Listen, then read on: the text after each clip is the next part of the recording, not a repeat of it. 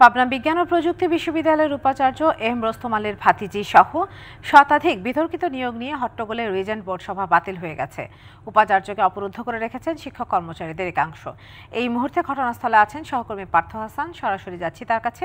পার্থ, আমাদেরকে জানাবেন আপনার কাছে সবশেষ কি তথ্য আছে এই বিষয়ে? ধন্যবাদ ইসরাত আমি এই মুহূর্তে রয়েছি পাবনা বিজ্ঞান ও প্রযুক্তি বিশ্ববিদ্যালয়ের প্রশাসনিক ভবনে।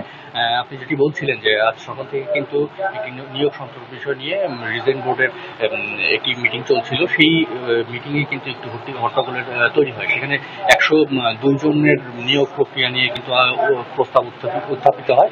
পরবর্তীতে কিন্তু আমরা শিক্ষকদের সাথে কথা বলে যেটি জানতে পেরেছি যে সেই নিয়োগে কিন্তু ভিসি মহোদয় কিন্তু নিজের ভাতিজিকে নিয়োগ দেওয়ার সিদ্ধান্ত নেয়। এতে এই কিন্তু এই- জটিলতা তৈরি হয়। আমি আপনাকে যদি একটু দেখাই যে এখানে কিন্তু যারা শিক্ষকরা রয়েছেন বা কর্মচারীরা রয়েছেন, তারা কিন্তু অবস্থান নিয়েছেন এবং এর মধ্যে ভিসি কিন্তু অবরুদ্ধ করে রাখা হয়েছে।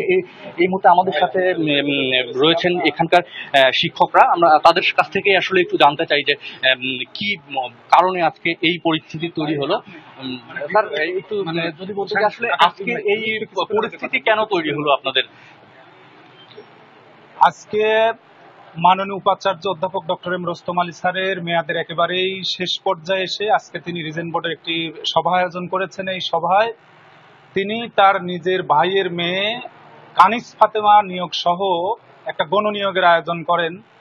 তো তার সবার শুরুতেই রিজেন্ট বোর্ডের সদস্যবৃন্দ তার ভাইয়ের মেয়ের সেই নিয়োগের বৈধতা নিয়ে প্রশ্ন তুললে এক পর্যায়ে সবার মধ্যে হট্টগোল সৃষ্টি হয় এবং উপাচার্য মহোদয় রিজেন্ট বোর্ডের সভা তিনি স্থগিত করেন। এমত অবস্থায় বিভিন্ন শিক্ষকের পদোন্নতি, তারপরে শিক্ষকদের পিএইচডি ডিগ্রি এমফিল ডিগ্রি এবং বিদেশে যাওয়া এবং একাডেমিক স্বার্থ সংশ্লিষ্ট নানান বিষয় এবং কর্মকর্তাদের পদোন্নতি সংক্রান্ত নানান বিষয় ছিল। এটা যখন জানতে পেরেছে এবং ভিসি স্যার বলছে যে ভাইয়ের মেয়ের নিয়োগ না হলে অন্য কোনো কাজ আমি করব না এবং উনি চলে যাওয়ার জন্য একটা প্রক্রিয়া শুরু করেছিলেন। তখন এটা জানার পর সবাই বলছে যে এটা স্যার নিষ্পত্তি করে দিয়ে আপনাকে যেতে হবে। এটাই যেমনটি শুনছিলেন আমরা আমাদের শিক্ষকরা জানাচ্ছিলেন যে আসলে তার ভাতিজির নিয়োগ নিয়েই কিন্তু মূলত এই সমস্যাটা হয়েছে এবং এখানে যারা কর্মকর্তা রয়েছেন বা শিক্ষকরা রয়েছেন তাদের বিভিন্ন দাবি দেওয়ার পূরণ না করেই কিন্তু নিজের স্বার্থ সিদ্ধির জন্য বিভিন্ন সিদ্ধান্ত নেওয়ায় এই আহ, পরিস্থিতি কিন্তু তৈরি হয়েছে। এই ছিল আসলে পাবনা থেকে আমার কাছে সর্বশেষ তথ্য। ধন্যবাদ পার্থ হাসান।